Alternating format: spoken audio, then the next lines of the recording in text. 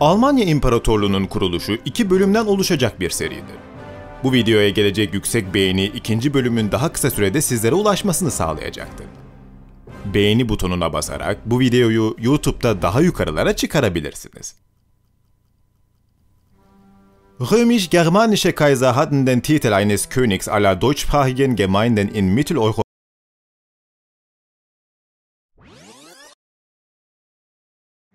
Roma Germen İmparatorları, Orta Avrupa'da Almanca konuşan tüm toplulukların kralı ünvanını taşımaktaydı.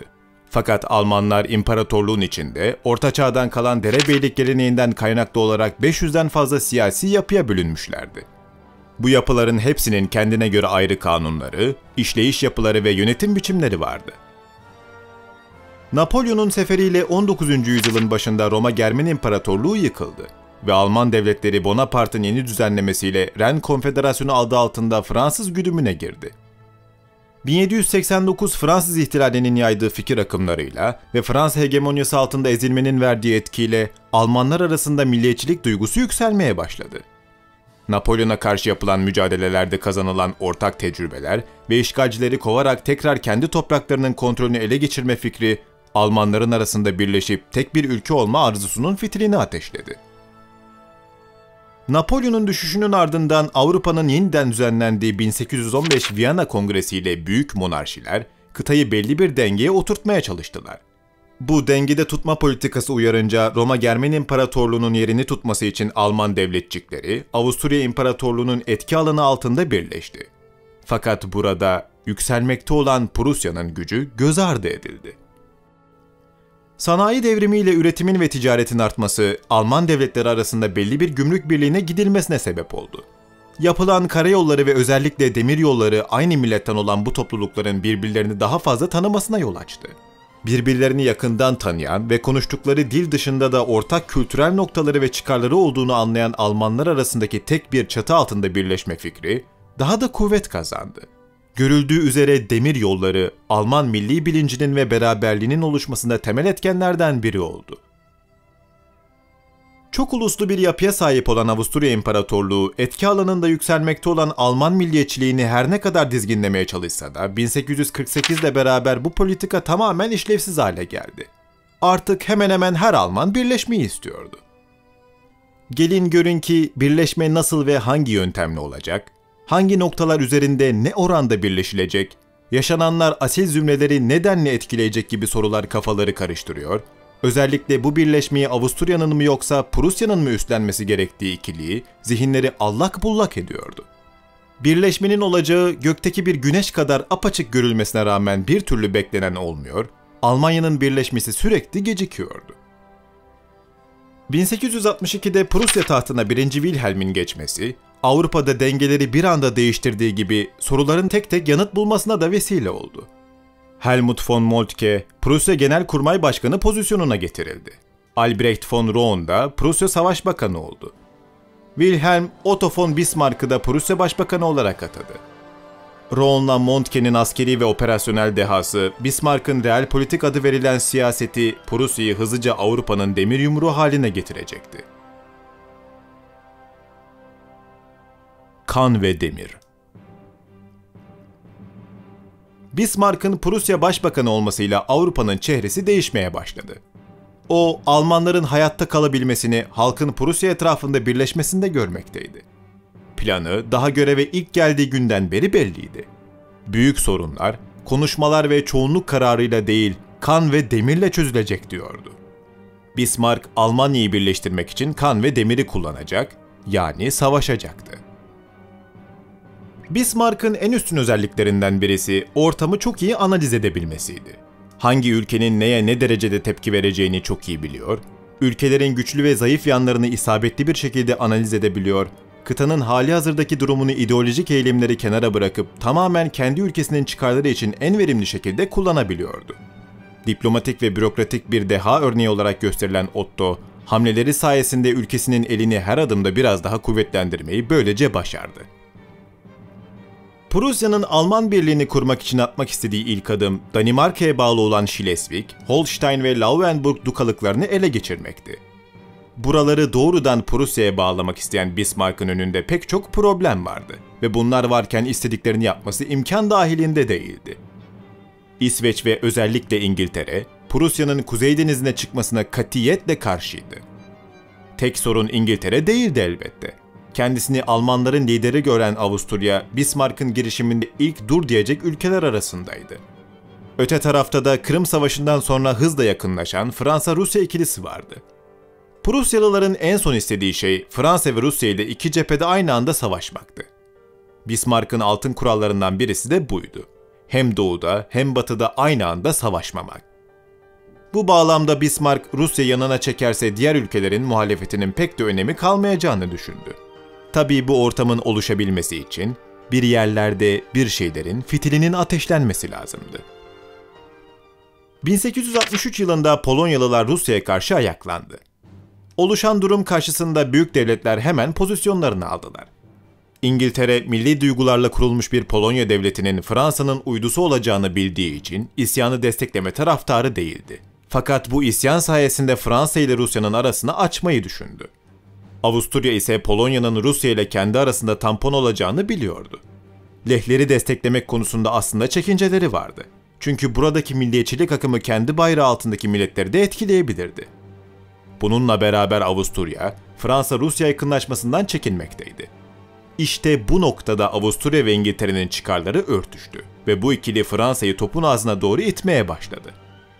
3. Napolyon kendisine tuzak kurulduğunun farkında olmasına rağmen halkı çoktan tarafını seçmişti.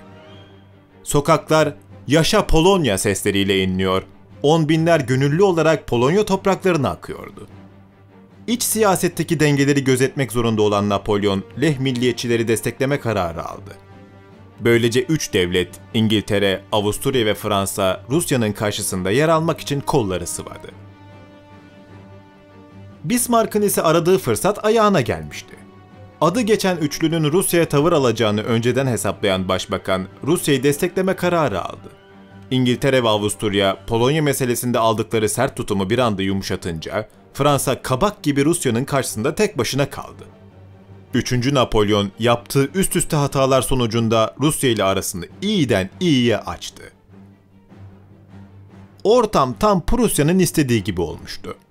Schleswig-Holstein anlaşmazlığını daha da kaşıyan Bismarck bir bahane bulup Danimarka'ya saldırmak için hazırlandı. Ortamı Prusya'ya bırakmak istemeyen Avusturya'da işe karışınca Germen Konfederasyonu Şubat 1864 yılında Danimarka'ya savaş ilan etti. Danimarka ordusu bölgeye sevk edilen Alman birliklerinin yarısı kadar ya vardı ya yoktu. Askeri teçhizat bakımından tüfekleri arasında temel bir prensip farkı vardı. Danimarkalılar Springfield model 1842, Enfield Pattern 1853, Enfield Pattern 1861, Musketoon ve Lawrence 1854 gibi çoğu İngiliz orijinli tüfekleri kullanmaktaydı. Bu silahlar dönemin modern yapısına uygun ve ağızdan doldurmalı silahlardı. En büyük dezavantajları askerlerin tekrar atış yapabilmesi için tüfekleri ağız kısmından ve ayaktayken doldurma zorunluluğuydu. Doldurması vakit alan bu tüfekler dakikada ortalama 2-3 atış yapabiliyordu. Prusyalıların elinde ise Dreyse Needle Gun vardı. Pek çok sorunu olan iğneli ve kurmalı bu tüfeklerin rakiplerinden en büyük avantajı hızıydı. 19. yüzyıl sonrasına doğru savaş alanlarında silahlarda aranan şey, menzil ve isabet oranından ziyade hızdı. Dreyse'ler arka kısımlarından hızlıca doldurulabiliyordu ve askerler dolum işlemini yerde mevzilenmişken de yapabiliyorlardı. Dakikada ortalama 5-6 kadar atış yapabilen ve türünün ilk örneklerinden sayılan bu tüfeklerin varlığı bir sır değildi. Prusya, 1840'ların sonundan beri tüm ordusunu Dreyse'lerle donatmıştı. Fakat hiç kimse bu silahların savaş meydanında neler yapabileceğini bilmiyordu. Yakında herkes Dreyse'lerin kuvvetini görecekti. Alman orduları Şubat ayında girdikleri Danimarka topraklarında hızlıca ilerledi. Her ne kadar İngilizler işi zorlaştırmak için konferans topladıysa da işgal orduları durmaksızın ilerleyip Danimarka ordusunu Temmuz ayında teslim olmaya zorladı. Almanlar net bir şekilde galip olan taraftı. Alman birliğine giden ilk adım bu şekilde atılmış oldu. Peki Bismarck'ın tek hedefi adı geçen dukalıkları ele geçirmek miydi? Elbette hayır. Bismarck ve Kral Wilhelm ilk iş olarak Kiel'de donanma tesisleri kurmaya başladı. Amaç Kiel'de bir kanal açıp donanmayı açık denizlere taşıyabilmekti. Kimse daha farkında değildi. Ama Bismarck, Alman İmparatorluğunu büyük bir deniz gücü haline getirecek temelleri atıyordu. Savaşta yenilmiş olan Danimarka'ya ufak bir göz atacak olursak, onlar için mağlubiyet adeta bir felaket olmuştu. Danimarkalılar, topraklarının üçte birini ve 2,5 milyonluk nüfus rezervinin yaklaşık 1 milyonunu Almanlara kaptırmışlardı. Tam bu kısma değinmişken 2. Schleswig-Holstein Savaşı'nı anlatan 2014 yapımı 8 bölümlük 1864 dizisini bu savaşın atmosferini yaşamak isteyenler için tavsiye ediyoruz. Kardeşlerin Savaşı Danimarka'dan alınan topraklar 1865 Gastein Anlaşması ile iki Alman devleti olan Avusturya ve Prusya arasında paylaşıldı. Paylaşım yapılmıştı yapılmasına ama bu süreçte yaşanan fikir ayrılıkları zaten aralarında uzun süredir ikilik olan kardeş devletlerin arasını iyice açtı. İşlerin çatışma raddesine kadar varması Prusya'nın istediği bir şeydi. Gücünü Danimarka'da test eden Prusya, artık konfederasyonun asıl gücü olduğunu Avusturya'ya gösterebilirdi. Avusturyasız bir Almanya düşünen Bismarck, savaşa girişmeden önce siyasi ortamı ülkesinin çıkarlarına uygun şekilde düzenlemeye başladı. İngilizlerin olası savaş karşısında tarafsızlığını sağlamak kolaydı. Çünkü Avrupa'nın ortasında iki Alman devletinin birbirini yemesi onların işine gelirdi. Rusya ise zaten tarafını seçmişti. Çıkacak savaşta Prusya lehine sessizliğini koruyacaktı. Burada asıl problem Fransa'ydı. Fransa'nın Avusturya ile müttefik olma durumu Bismarck'ı korkutmaktaydı. Aynı zamanda Alman Başbakan Avusturya'ya karşı İtalya'yı da kesinlikle yanında istiyordu. Çünkü rakibi çift taraflı sıkıştırmanın tek yolu buydu. İtalya'nın kalbine giden yolda yine Fransa'dan geçmekteydi. Bismarck yıl içerisinde 3. Napolyon ile gizli bir toplantı yapıp onu tarafsız kalmaya ikna etti. Bismarck, Napolyon'a kaba taslak şunları söylemişti. 1. Bu savaş bir Alman milli meselesidir. Fransa karışmasın. 2. Olası Prusya zaferinde Fransa'ya da toprak düşebilir. 3. Fransa kurulacak İtalya-Prusya ittifakına müdahale etmezse, zafer sonrası Venedik İtalya'ya bırakılacak. Avrupa'nın tek kurnazı Bismarck değildi elbet. 3. Napolyon'un Prusya lehine tarafsızlığı kabul etmesinin altında başka çıkarlar yatıyordu. İmparator basitçe şu şekilde düşünmüştü. 1. Almanların birlik olmasındansa birbirlerini yemesi daha evladır. 2. Prusya Avusturya kadar güçlü bir devlet olmadığı için düşmanını yenmesi aylar hatta yıllar sürer. Bu durumda iki tarafta yıprandığında Fransa'nın Ren kıyılarını alması için ortam doğar. 3. Olur da güçsüz olan taraf Prusya zafer kazanırsa Venedik Napolyon aracılığıyla İtalya'ya kalır ve Fransa'da uydusu olarak gördüğü İtalya üzerindeki etkinliğini arttırır. Bismarck, Napolyon'u oyun dışında bırakmayı başardıktan sonra İtalya ile masaya oturup 1866 Nisan'ında ittifak anlaşmasını imzaladı. Sular çok hızlı ısınınca da Prusya ortadaki sebepleri bahane gösterip 14 Haziran 1866'da Avusturya'ya savaş ilan etti. Anlaşma uyarınca İtalya'da güneyden saldırıya geçti. Alman krallıkların çoğu ise herkesin savaşı kazanır gözüyle baktığı Avusturya'nın yanında yerlerini aldılar. Prusya Genelkurmay Başkanı ve savaş planının mimarı General von Moltke tüm gücü dört orduya böldü. Hızlı ve disiplinli olan Alman ordularının bir tanesi konfederasyon kuvvetleriyle savaşmak için ayrıldı. Bu ordunun karşısında Hannover, Saksonya, Bavyera, Württemberg, Baden, Hesse-Darmstadt ve Nassau kuvvetleri vardı. Hedefi bu ufak grupların birleşmesini engelleyerek rakiplerine lokma lokma sindirmek olan Main ordusu canını dişine takıp savaşırken asıl muharebe doğuda yapılmaktaydı. Savaşın başında Avusturya sınırına 3 ordu yığan General von Moltke tertibatı şu şekilde yapmıştı. Sağ kanatta von Bittelfeld komutasında Elbe ordusu, ortada Prens Friedrich Charles komutasında 1. ordu ve en solda Veliaht Prens Friedrich William'ın yönettiği 2. ordu yerini aldı. Karşıda ise sol tarafta 1. Avusturya kolordusu ve Prens Albert'in yönettiği Saksonya ordusu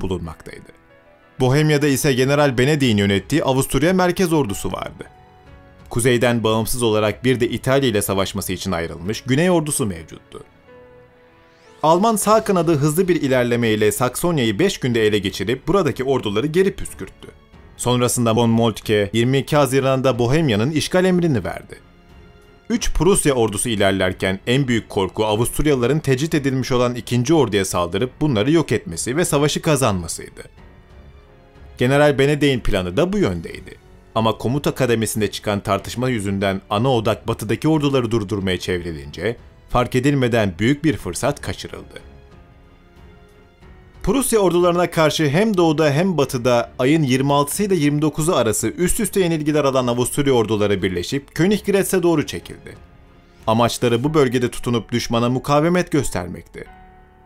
Prusya orduları gelip Avusturyalıları sarınca 3 Temmuz'da savaşın asıl kazananını belirleyecek Königgrätz muharebesi başladı.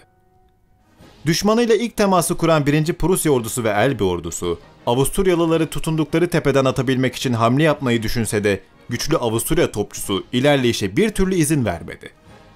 Düşmana tutunduğu yerden atması gerektiğini bilen Avusturyalılar, piyade alaylarını ileri sürse de büyük bir hüsrana uğradılar. Çünkü kendi ellerindeki Lorenz marka önden doldurmalı tüfeğe karşı Prusyalılarda daha azı doldurulabilen ve tüm savaş boyunca farkını göstermiş Üzün Nadel Gevea yani Dreise Needlegun vardı. Savaşın kazananının belli olmadığı, iki tarafında kritik anlar yaşadığı vakitlerde Avusturyalılar süvarilerini kullanmakta çekinince muharebe çıkmazı uzadıkça uzadı. Bu çekince Prusyalıların kazancı oldu ve geçen süre içerisinde yardıma yetişen Prusya 2. ordusu Avusturyalıların sağından çok sağlam bir saldırı gerçekleştirdi. Kanattan gelen saldırıyla çok fazla kayıp veren Avusturyalılar ağır bir yenilgi alıp apar topar Viyana'ya doğru çekilmeye başladı. Tüm savaşın kazananı görünüşe göre Prusya olacaktı. Güney cephesine bakacak olursak, İtalyanlar maalesef hem denizde hem de karada Avusturyalılar karşısında tutunamayıp yenildi. İtalyanların bu savaşta yaptıkları tek şey, düşman birliklerin bir kısmını aldığı yenilgilerle Güney cephesinde oyalamak oldu. Ama tabii İtalyan yenilgilerine rağmen Prusyalılar savaşı kazanmaktaydı. İmparator Franz Joseph, Königgrätz'te alınan mağlubiyet sonrası Viyana'ya yürüyen Prusya'yı durdurmak için barış çağrısında bulundu. Prusya kralı ve askeri kanadı barışı reddetip düşmanlarını tamamen sindirmek isterken Bismarck buna karşı çıktı. Prusya, Avusturya'yı yenerek istediğini almış, Alman devletlerin asıl lideri olduğunu kanıtlamış ve imparatorluğun gururunu yeterince kırmıştı. Daha fazla ilerlemeye gerek yoktu. Bismarck'ın uyguladığı satranç teorisine göre tüm ülkelerle her şartta masaya oturulabilecek diplomasi yolları açık tutulmalıydı. Eğer daha ileri gider ve Avusturya'nın nefretini kazanırlarsa bir daha bu ülkeyle masaya oturamazlar ve intikam duygusuyla yanıp tutuşan ebedi bir düşman kazanırlardı. Uzun tartışmalar sonrasında Bismarck önerisinin kabul edilmemesi halinde intihar edeceğini söyleyince herkes başbakanın bu konuda ne kadar kararlı olduğunu anladı ve Avusturya ile barış yapılması kararlaştırıldı. Böylece Prusya, istediğini alarak yıllarca bitmez denilen savaşı bir ayda bitirerek mükemmele yakın bir zafer kazanmış oldu. Bu savaşın asıl büyük kaybedeni oynadığı kart elinde patlayan Fransa oldu. Şaşkınlık içinde olan 3. Napolyon'un hiçbir öngörüsü tutmamış, Prusya bir ayda her şeyi paket edip bitirmişti. Görüldüğü gibi ipteki iki cambazdan biri olan Napolyon düşmüş, diğeri Bismarck ise hala ipin üstünde şovuna devam etmekteydi. Zafer sonrası Kuzey Alman Federasyonu'nu kuran Bismarck'ın kan ve demir politikasının sıradaki hedefi, başını taşlara vurmakla meşgul olan Fransa olacaktı. İkinci bölüm beğenilerinize bağlı olarak kısa sürede yayında olacaktır.